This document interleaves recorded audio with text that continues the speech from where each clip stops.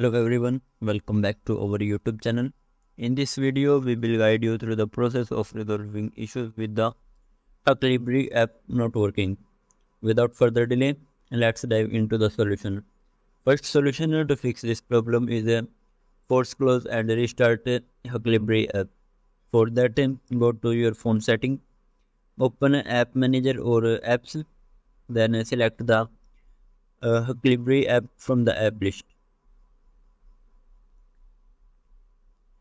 Then I click on force stop from the bottom right corner. Confirm by clicking OK and then reopen the Huckleberry app.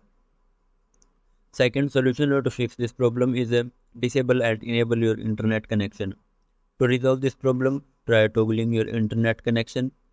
If you are using mobile data, then turn it off for 5 to 10 seconds, then switch it back on. For Wi-Fi users, turn off Wi-Fi for the same duration and then turn it back on. Alternatively, activate aeroplane mode for 4 to 5 seconds, then disable aeroplane mode. After that, check if the issue resolved. Third solution to fix this problem is uh, clear Huckleberry app caches. Clearing the app caches can often resolve performance issues.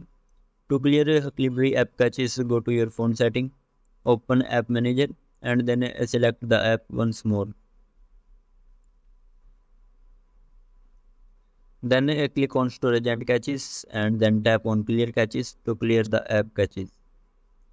Fourth solution to fix this problem is to update Huckleberry app to the latest version. To do this, head to the Play Store and search for uh, Huckleberry app. After that, uh, select the app. If an update is available, you will see an update button next to the app. Tap on it to update the app to the latest version. Once updated, launch the app again. Fifth solution to fix this problem is uh, uninstall and reinstall the Huckleberry app. For that, uh, go to Play Store again, then search for the app and then select uninstall. Once uh, uninstalled, reinstall the app by clicking on the install button. If none of the above methods work, the issue may be Huckleberry app server is down in such cases, you may need to wait for some time and try again later.